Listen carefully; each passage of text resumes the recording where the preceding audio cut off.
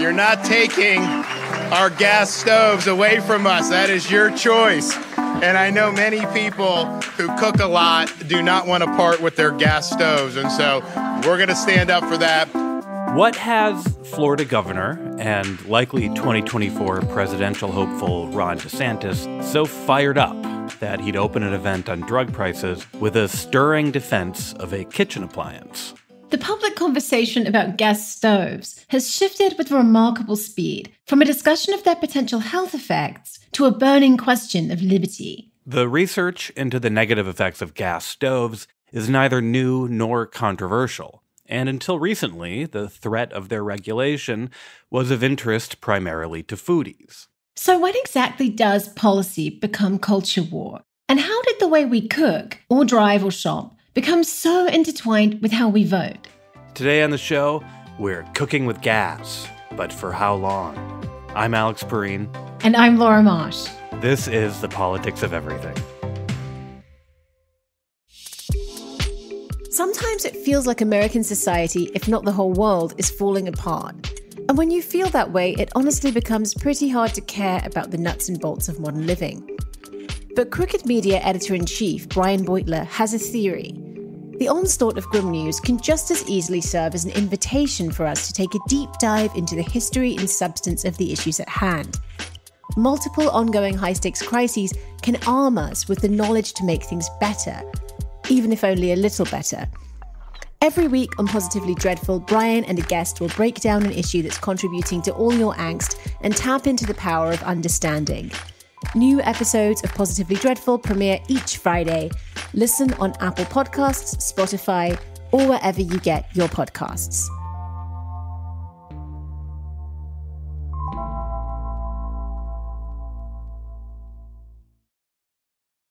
In mid October, a date that feels like many lifetimes ago in the great gas stove debate. A study came out suggesting that gas appliances in California leak as much benzene, a carcinogenic chemical, each year as 60,000 cars. We're speaking now with Heather Souvaine Horn, an editor at the New Republic, who wrote about that research. Heather has compared the gas industry to the tobacco companies, which openly market and sell a product known to harm human health. As the evidence piles up about the dangers of gas stove, she asked, At what point does the natural gas industry become the new big tobacco?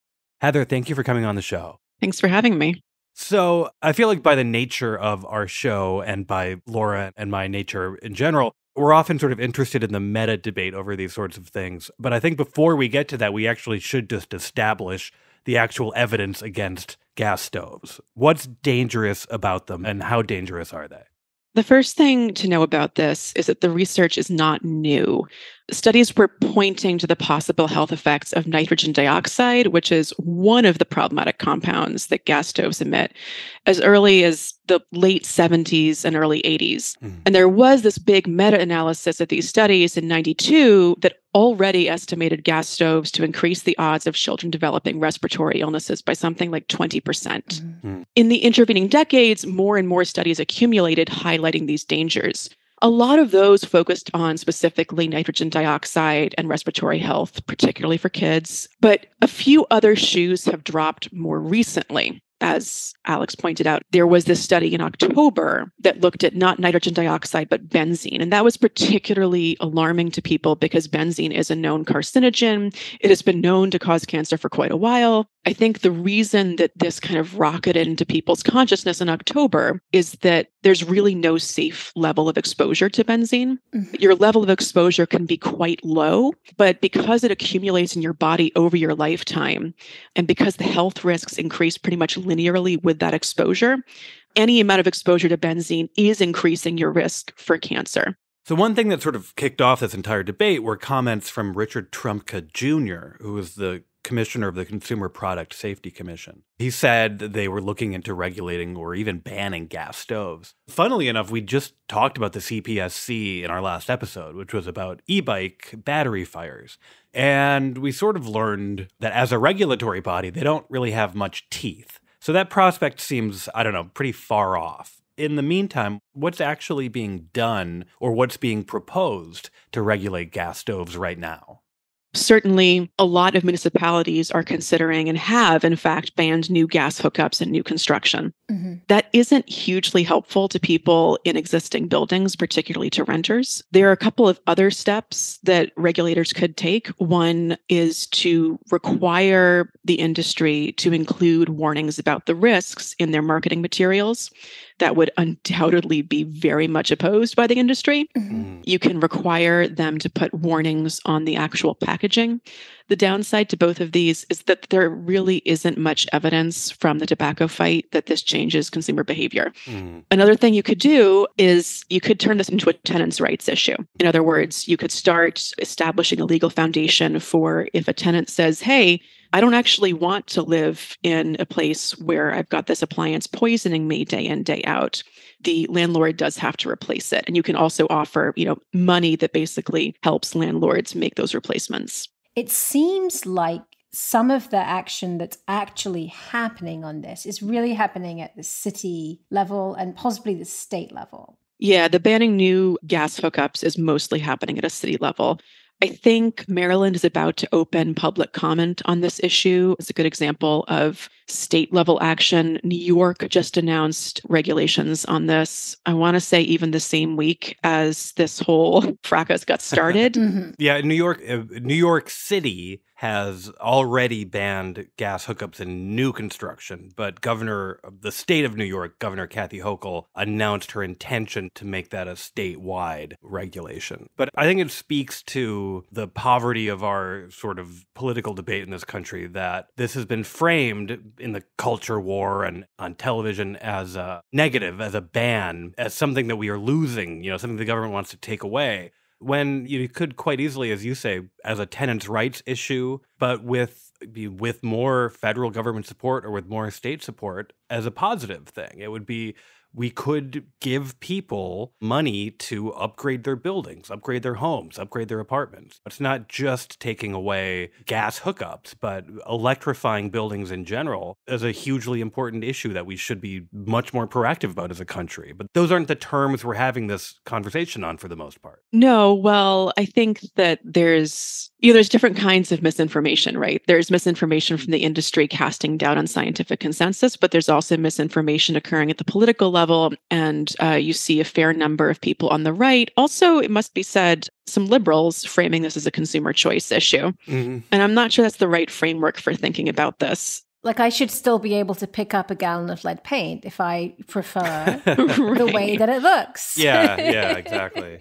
and in fact, you know, lead paint is better product in terms of the way it looks and the way it goes on then no it is? It is than latex paint and the paint that's available now that you know doesn't give you all kinds of health problems. Right. We decided that despite being better at being paint the trade-off wasn't worth it. So heather you were saying even some liberals have framed this as a consumer choice issue. Yeah, and they've been framed as a consumer choice issue, and even more so as you know, TNR columnist Liza Featherstone points out, they've really started talking about this as an issue that is relevant to affluent homeowners, like people right. who mm-hmm. are like, well, I, I like my gas stove. Don't you dare come and take it away. And first of all, no one's coming to take your gas stove away. Even if there was a nationwide ban on new gas hookups tomorrow, no one's going to come and like rip out existing stoves from homeowners mm-hmm. like establishments. That's just not going to happen. Right. But secondly, focusing on this as kind of an affluent homeowners issue kind of takes away from this aspect of you know tenants rights of consumer protection that we're talking about. And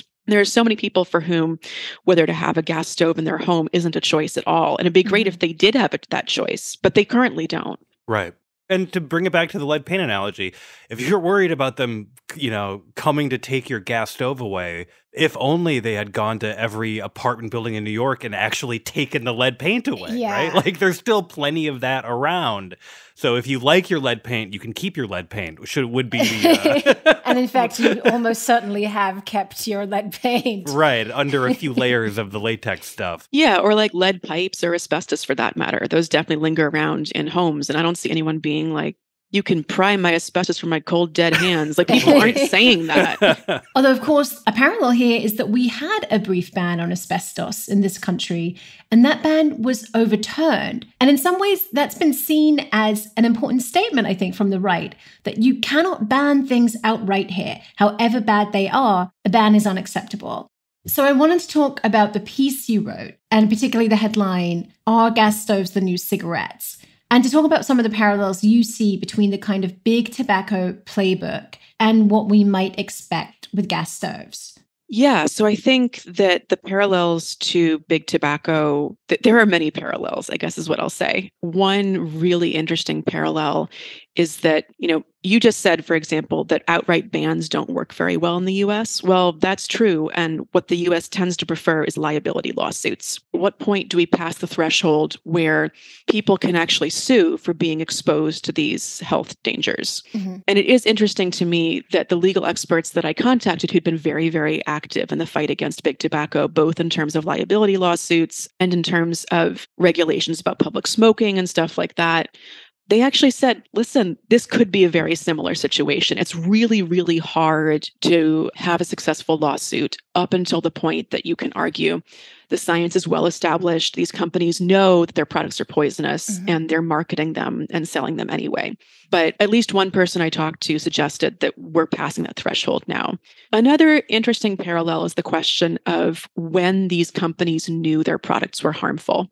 So far, there hasn't been any lawsuit or any kind of congressional investigation that has forced them to disclose internal documents that would help us understand when they knew their products were harmful. There have been that for tobacco. There's been that also for fossil fuel companies recently. Mm-hmm. The other parallel, and this is something that Ketan Joshi wrote about recently, has to do with the kind of misinformation that we're seeing deployed by industry as the scientific consensus builds. So this was his piece for the New Republic with the title The Dawn of Gas Stove Denialism. Yeah. And what Ketan pointed out was that there's currently this emerging consensus around these risks from gas stoves. But, quote, the magnitude and manifestation of this effect remains subject to some degree of uncertainty. Uncertainty regarding the magnitude of effect can be twisted and reframed as uncertainty about whether there is an effect. And what's interesting about this is he's saying we're at a really vulnerable time right at this moment on that misinformation front. So, this is the kind of merchants of doubt playbook where industry tries to get people to react to the kinds of news stories we've been seeing by saying, mm,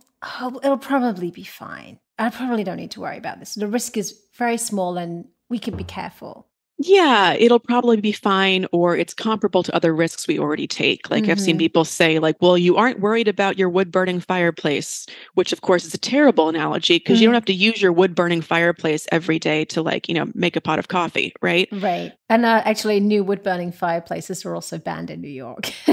right. So I mean, there's a number of reasons this isn't the best analogy, but yeah, it's possible to minimize, to sow doubt, to say like, okay, well maybe there's this correlation, but you know, show me the actual baby who has gotten cancer as a mm-hmm. result of gas stoves. And these kind of tactics are really effective for a lot of people. And it seems like we're kind of near the beginning of it, not in the sense that the, I mean, the research has been out there for a long time, but in the sense that a public conversation is definitely building up steam right now. And the pushback in that conversation is just taking shape. Yeah, I think that's right. The gas industry, the gas stove industry, up until now, because the science of these health risks hasn't really percolated into public consciousness, mm-hmm. the industry's been able to focus more on promoting this message of gas stoves are the best cooking implement you can possibly have. And they've really focused on it as you know, positive marketing, essentially selling their product. I think now that people are starting to become more aware of the health dangers, you're going to see a much bigger push from the industry to say, mm, these dangers don't look over here. Like these aren't real for the following reasons. Mm-hmm. But yeah, I think you're right. I think it's an inflection point. Well, thank you so much for talking to us, Heather. Thanks so much for having me. So, there's an emerging consensus about the risks of gas stoves but still enough uncertainty in the data that it's easy to exploit people's doubts. After the break, we'll be back to talk about how defending gas stoves became a Republican project and all the other consumer products that have been similarly claimed by one political party or the other. If you're enjoying today's episode and want a regular dose of the New Republic's acclaimed independent journalism, consider subscribing to TNR with our special offer at TNR.com. Every day, our writers and editors work hard to bring you the reporting and analysis you need to make sense of the world. But we can't do it without you. go to tnr.com slash special offer. That's tnr.com slash special offer.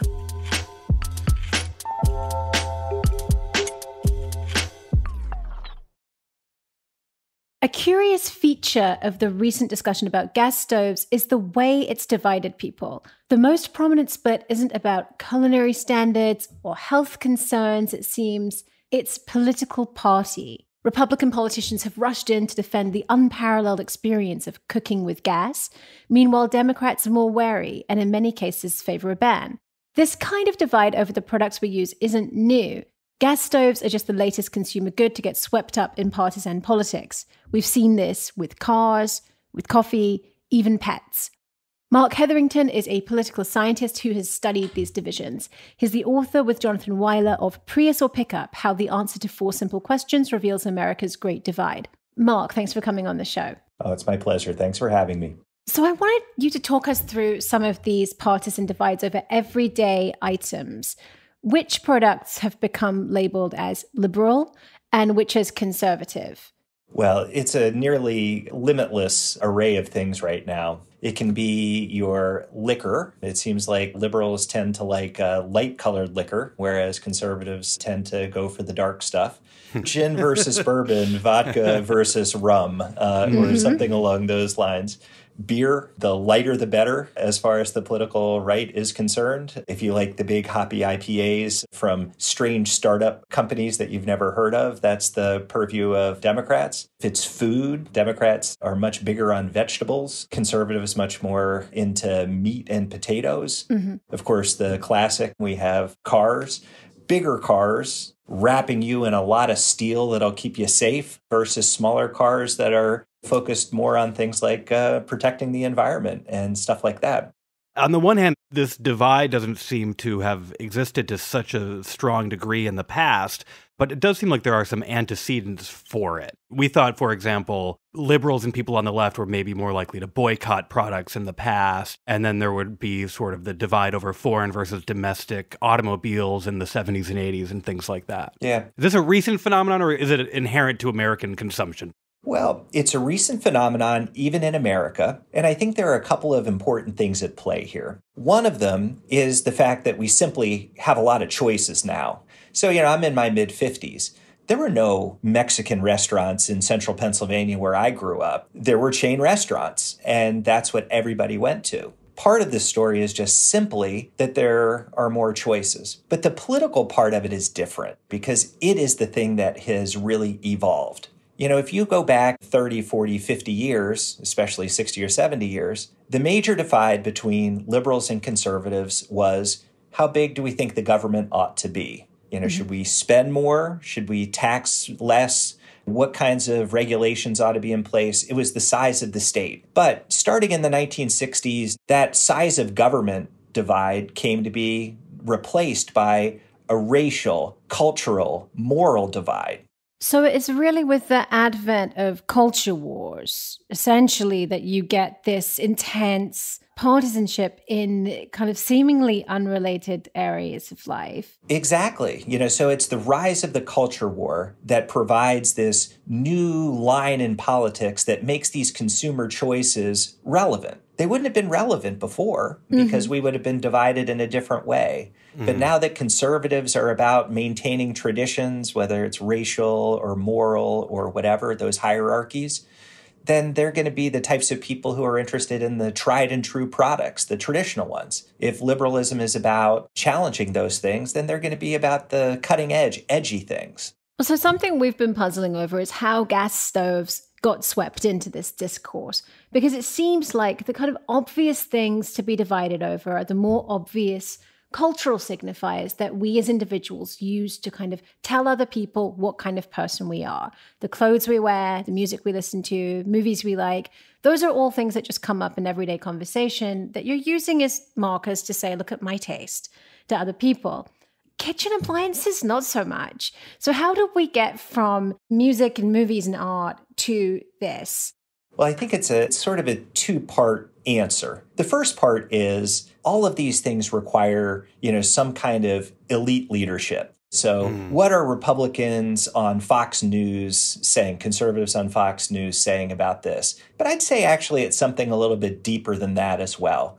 It's funny, if it wasn't gas stoves versus the liberal elite trying to change this stuff. Mm-hmm. I bet you conservatives would be more likely to use electric than gas, you know, frankly. oh, yeah, mm-hmm. absolutely, I, yeah. I have no yeah. doubt about that. Right, because gas stoves are associated really with this foodie culture that's exactly yeah. about going to fancy restaurants and cooking with gas is superior to electric. Completely. And, you know, I bet you if you ask the follow up question, you know, to people who are upset about or embracing whether gas stoves ought to be regulated in some way, the opponents of regulation of gas stoves would mostly have electric stoves. so it's symbolic. It's not necessarily even about the choices that they're making. It's that, you know, these know it all elites are trying to change the way that we've done things for generations. And there's a problem with that. So again, but it's it's all about how it's been in the past. We're facing this changing world, and some people are comfortable with that. They're on the political left. They'll be like, okay, you know, this is uh, just how the world's changing. But, you know, most people are not comfortable with change. Change tends to cause anxiety for people, and anxiety is an aversive reaction to, you know, some sort of stimulus. And that's something that people find unpleasant what I find interesting about this as a partisan marker is exactly like you said. A year ago, you would not have said gas stoves are associated with conservatism. What is striking is that these things can be so quickly dragooned into defensive tradition, mm-hmm. even when the sort of tradition, quote unquote, being defended was sort of sanctified last week it was not an essential part of American identity up until a few weeks ago to be cooking with gas. Exactly. It'll be interesting to track the sales numbers for gas stoves over yeah, the, right. the next couple of years. I say that, you know, pretty much jokingly, but at the same time, you know, certain products are, you know, deeply associated with certain political sides. And as such, it, you know, takes on a life of its own. Is there any, I'm just looking for a, a ray of hope were there any examples in your research of a product that was highly politicized, just becoming sort of universal and people not caring about it anymore? Gosh, once things become politicized, do they become unpoliticized? Mm-hmm. Oh, I hate to say this, but I can't think of a one. oh, no. Can you? I can't. Marc, thank you so much for taking the time today. Thank you very much for having me. So it seems like gas stoves may be doomed at this point to remain a symbol of conservative values. After the break, we'll be back to talk about the right wing outrage machine and how turning this into a culture war issue serves their agenda. Would you like to hear more from TNR? Every day, our writers and editors work to bring you the reporting and analysis you need to make sense of the world. But we can't do it without you please consider subscribing to the New Republic with our special offer at tnr.com slash special offer. That's tnr.com slash special offer. We've been talking about the rapid transformation of gas stoves from normal kitchen appliance to fraught cultural signifier. Alex Shephard, a staff writer at the New Republic and a friend of the show, wrote recently about the political theater behind the gas stove wars. A few weeks ago, he writes Gas stoves were just stoves. Now they are fodder, symbols of identity, talismans in a culture war that will never end. Alex, thank you for joining us. It's good to be back. so, what have been some of the representative right wing reactions to this news? Yeah, I mean, they happened very quickly, despite the fact that this debate has been going on for a long time. But it was immediately a sort of everyone decided to cosplay as Charlton Heston at once. so Ronny Jackson, the sort of semi-disgraced former White House physician turned Texas congressional representative, tweeted in all caps, "Never give up my gas stove." If the maniacs in the White House who are not in favor of this uh, come for my stove. They can pry it from my cold, dead hands. Come and take it. Which I guess also implies that the stove is off. So I don't know. He might be. Right. It's off and he's holding it. in his hands. and he's also dead. yeah, yes. yes. It's just a lot going on here. Ron DeSantis tweeted this sort of fake Gadsden flag with a gas stove over the words "Don't tread on Florida." Matt Walsh, the sort of conservative provocateur, tweeted, "You know, you'll have to pry my gas stove from my cold, dead hands uh, again." a a lot of these people, you know, you can look at their houses on Zillow and stuff, and they also have uh, electric or induction stoves. So, even if there is new research, the science behind the gas stove debate is not actually that new, as we've already talked about, even if it wasn't widely discussed until fairly recently. Why did, if you'll forgive me, the heat turn up so quickly? It's terrible. Gonna leave now. I mean, because the M and M's hadn't released a new gender neutral Yeah. candy that week. I think it's probably the shortest answer. There hadn't been a gender swapped like movie reboot in a few weeks, right? Like so. Yes. Yeah. I mean, that more or less is it. You're like, it's early January and there's not very much going on. And I think, you know, there's this sort of larger trend here in which, you know, the, the sort of right wing media ecosystem is, has become almost entirely reactive. You saw this with something like, I don't know, the, the sort of, is Dr. Seuss being canceled debate? Yeah, I was going to bring that up. That was the beginning of the year too. I remember that was Yes. think, very. It was like January, February. Suddenly there was nothing in the news, and it was they're canceling Dr. Seuss. So this kind of fits into that trope of like they're taking away your ex, whether it's Dr. Seuss or his cooking. Well, so if you look at somebody like Ron DeSantis, right? DeSantis's argument, I mean, I'm being slightly charitable to him here, but his argument for running for president is essentially like I run Florida and Florida is fun. Like in the other states during COVID, you had to stay inside and wear a mask and because they're run by liberals and woke scolds, but in Florida, like we don't care about any of that. We just, you know, we have our gas stoves going all the time and we're reading the racist Dr. Seuss books and everything else. And and I think that, you know, this is a it's a metaphorical argument. I think the right sees it as being persuasive. It's also, you know, if you look at various debates about trans healthcare or just trans people's existence in general, there's a similar kind of thing where they're trying to say, look, we used to have a country that was a certain way, and this minority of people is trying to rapidly change that. That may be a compelling argument to some people, but it's pretty flimsy, like it's thin soup. And so you're constantly having to backfill it with new culture war stuff. Like Tucker Carlson show exists to do this. That's like why we've been talking about if candy should be sexy or not or whatever. So it's not about picking a few core issues that conservatives actually really care about and are invested in. It's more about kind of creating this omnipresent sense that everything is being fought over and they're changing the M&Ms, they're changing our stoves, Mr. Potato Head is switching up. like it's everywhere. This is this is an all-out assault from the woke liberal in democratic states. Yeah, and I think I mean it's what happens when a political party abandons the idea of policymaking altogether. Like Yeah. what they're reacting against is is like conceptual, right? They're against the idea of making policy. So changing gas stoves because they correlate to higher rates of childhood asthma. I grew up with a gas stove. I had mm-hmm. childhood asthma. And now look, and now you're fine. Yeah, See? that's right. Yeah, exactly. And I and I ran a four minute and twenty second mile when I was seventeen. I sort of put it as being detached from reality, but it's detached from policy, as you say.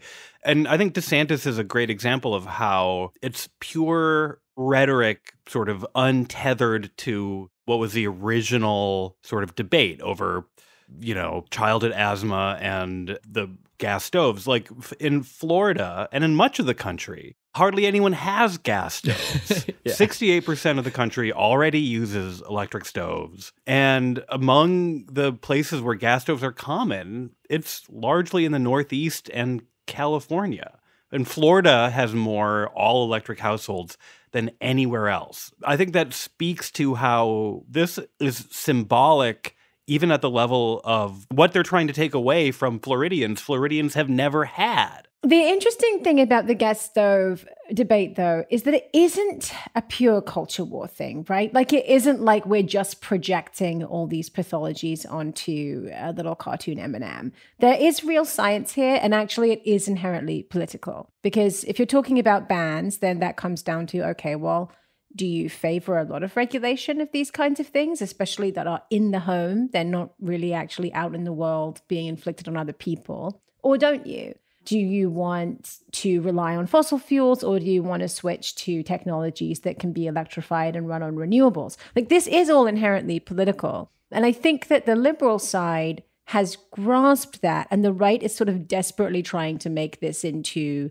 a kind of fashion choice. Well, there's a sort of there's a laundering that happens here as well because I think if you turn everything into a kind of culture war thing, you don't actually have to answer the question. The question of what you do with gas stoves is an interesting one and how aggressive you should be in regulating these things. These are difficult questions. And again, like the idea of just no new gas stoves is almost a way of dodging that question as well from a liberal policymaking respect. But I think on the right, you always have this risk. You know, there's a famous video of the like libertarian debate and I think in the 90s or something, where everyone just is keeps saying more and more insane things until somebody asks if you should have a driver's license. And yeah.